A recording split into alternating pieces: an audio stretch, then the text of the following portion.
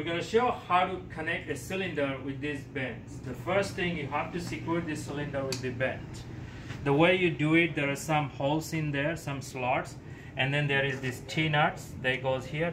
So what you do, so here there is a T-nut underneath, and then you put like this, and then, then tighten this, um, then it's going to be secured.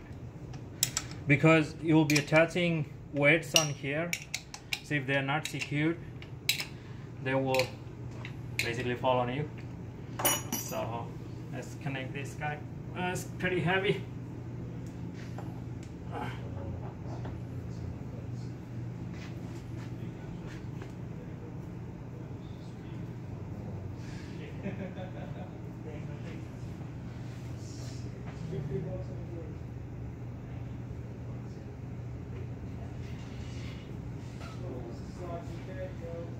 So make sure it's secured fine before you start the machine. Um, like that, it's almost all the way in. So don't have to tight too much because it has about this much already inserted in that. Um, so this is a an experiment for the um, cylinder. So you want to see how much load is transferred. You see cylinders everywhere, garbage pack or any big equipment you name, they, they use hydraulic cylinder. That's the uh, easy way you can transfer big load. Uh, so basically connect either A or B with these two port and then make sure it's secured and then you can start the machine.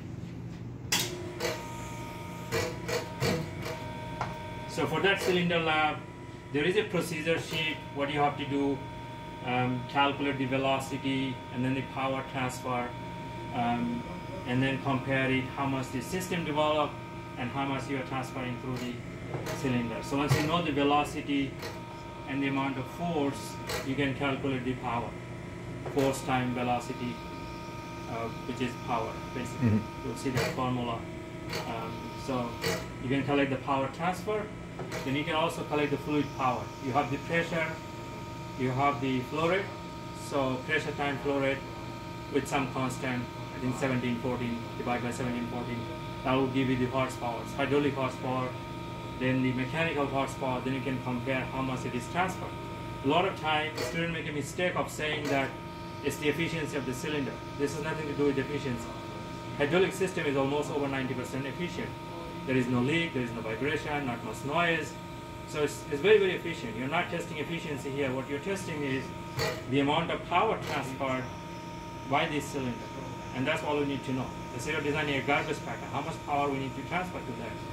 So basically collect the velocity, the force will be the weight of this piece, and then you can do the calculation.